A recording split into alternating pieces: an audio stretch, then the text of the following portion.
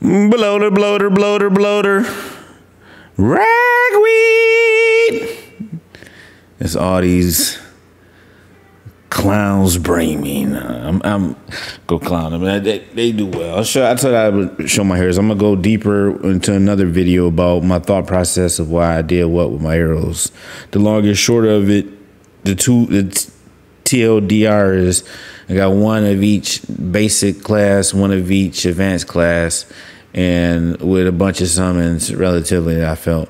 And over time I would um you know go through all the base classes to see if I get more advanced classes and then take the best of the advanced classes and try for elite classes and you know that so like I got four four on this but I think three I got three for all most of my um at least three for my advanced classes but I'm gonna wait till I go through all of the summons and I got like you know four to five for most left on my um like these both were summoned. These two rare my my rares were summoned. This was from a knight and a warrior and it's from the knight and warrior. So they both gave me my knight and warrior gave me rares. But now i'm getting to wait until level uh, probably level five before i summon again. But that, that's not what we're talking about here.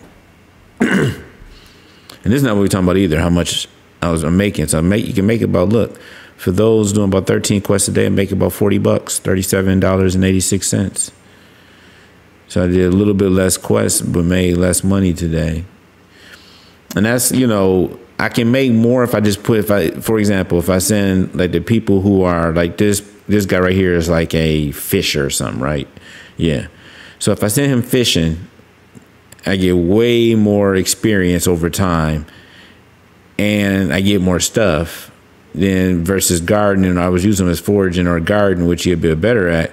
So you know, it's like I, sometimes I'd be forced to. Like this thief is like a gardener, right? But I've been using them as a fisher because you know that. I want to show somebody who's like a uh, somebody who is like, what is this?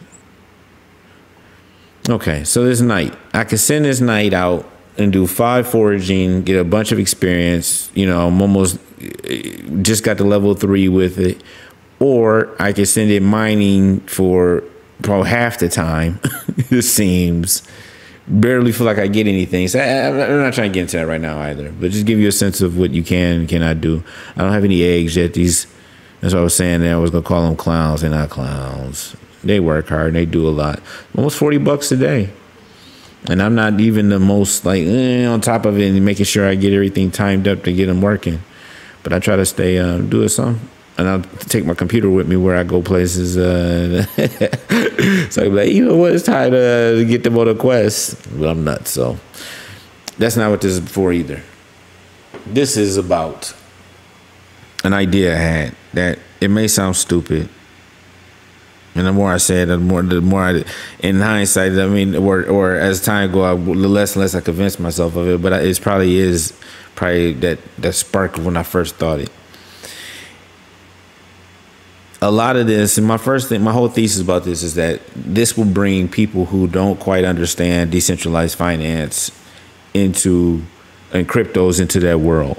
So, what's the easiest way to do that? Well, I'll just get to it without fumpering around. I think they will. I'll say that just in case they already don't. They steal my idea and just want to feel like they did it. I don't care. I'm an investor. I just want it done. Or it seemed like it would be, be uh, blow things up, and I would love that. The let's say producers, not the devs. The devs of DeFi kingdoms need to and will. We will see create an app for DeFi Kingdoms. We can play the entire game on app. Now, that may entail creating their own blockchain. You know, I'm thinking similar to how Big Time is, is has run their marketplace or um, VeVe to where you can bridge your assets over and you know interact on on that in that realm. So it'll be like an expansion like the others. And then you can also go back to Harmony, Avalanche, Fantom, Matic, the other expansions that we, you know, hypothesize will exist. Crystalvale is, you know, coming, but the other ones, and I probably should talk a little bit about that at the end here. And I think making it really easy for people to go on and use the Apple Pay, Google Pay, credit card to buy their whatever that, you know, we got Jewel, Crystal, that gem. I don't know if gem is stolen, taken by somebody or something. And that would be the, you know, it would kind of be just super easy. People can download it and play their DeFi kingdoms and start to say, oh, wait a second, I put $10 in here in this liquidity farm and now I have $12, I have $11. What, how did that happen? What, what, what, what, okay, let me do this and, you know, learning and going more and, you know, people would just, it, I think it would just blow up like, like, like, like insanity. But,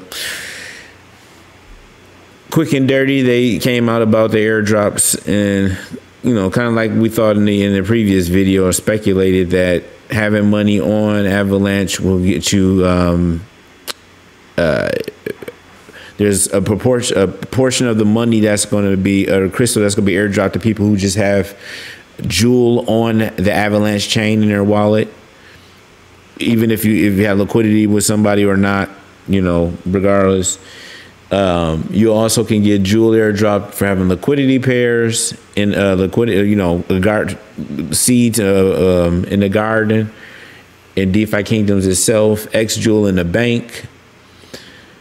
Uh, then they have some airdrops for Gen Zero heroes for Crystalvale for people who are summoning for having X Jewel in the bank. Mm, I believe that may be all. That may be all for the moment. If not, somebody will correct me. With that said, I love you. You love you. God loves us. And that's all that matters.